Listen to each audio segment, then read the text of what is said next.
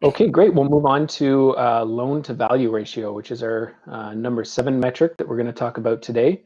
Um, so the LTV uh, ratio matters to investors who finance their deals.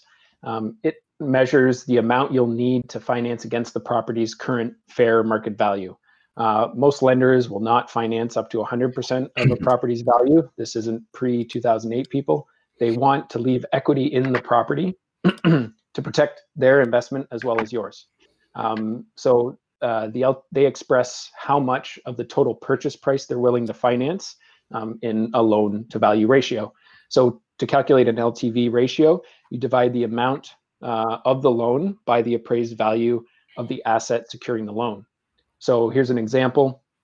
Um, if you assume you want to buy a property worth $100,000, you have $20,000 uh, dollars available for a down payment. You'll, so you'll need to borrow $80,000.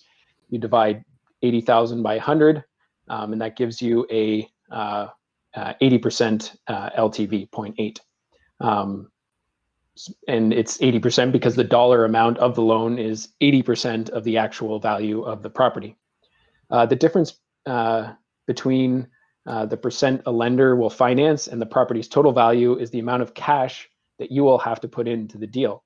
So if the lender will do 80% loan to value, that means you need 20% down uh, to secure the mortgage. So I'm going to turn it over to Victor now to give you a quick demo of how this works.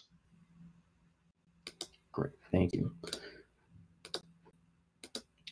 So instead of having to memorize um, your loan to value property, um, Chris here, his 5213 uh, Kevin's Way property, we have it listed in a nice little visual representation down here at the bottom under property highlights very simple loan to value. So currently his loan is 58.7% of the property value.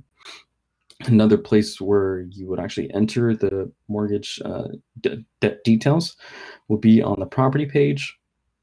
Um, and in this little square here, loan to value, um, you can add more mortgage details right below. And if you're in the market for a mortgage or looking to refinance, um, you could also obtain some mortgage um, rates through Stessa.